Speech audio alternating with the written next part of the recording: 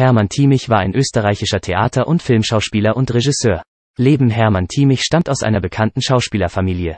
Sein Vater, Hugo Thiemich, war Schauspieler, Regisseur und Direktor des Wiener Burgtheaters. Auch seine Geschwister Helene Thiemich und Hans Thiemich, mit denen er am Theater und in Filmen mehrmals zusammenarbeitete, waren Schauspieler. Schon während seiner Schulzeit in der Volksschule und im Gymnasium in Wien sowie in verschiedenen Landerziehungsheimen wirkte Thiemich in Laienspielgruppen und Privataufführungen mit.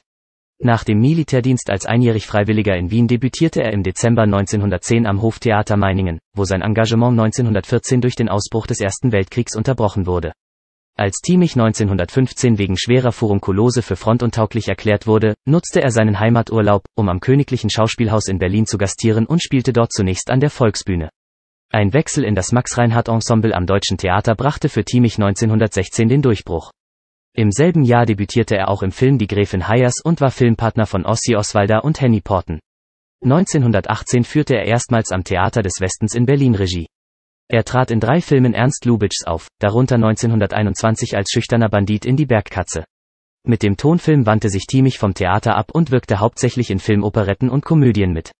Erst Mitte der 1930er Jahre kehrte er in Wien zum Theater zurück, wo er vornehmlich Rollen von älteren Herren übernahm. Diese spielte er auch im Film bis in die Nachkriegszeit.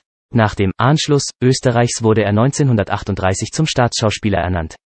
In der Endphase des Zweiten Weltkriegs nahm ihn Adolf Hitler im August 1944 in die gottbegnadeten Liste der wichtigsten Künstler auf, was ihn, auch an der Heimatfront, vom Kriegseinsatz befreite.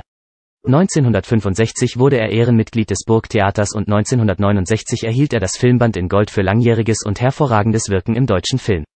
1981 erhielt er den Ehrenring der Stadt Wien. Aus seiner ersten Ehe mit der Schauspielerin Hanna Timmich-Wisser, Tochter des Eutiner Märchenprofessors Wilhelm Wisser, stammt eine Tochter, die bis 1945 auf der Bühne stand. Aus zweiter Ehe mit der Schauspielerin Wilma Degischer stammen zwei Töchter. Die Tochter Johanna Thiemich war wie ihre Eltern im Schauspielberuf tätig. Grabstätte auf dem Sieveringer Friedhof Hermann Thiemich ruht in einem ehrenhalber gewidmeten Grab auf dem Sieveringer Friedhof in Wien. Im selben Grab wurde zehn Jahre später seine Ehefrau Wilma Timmich-Degischer bestattet.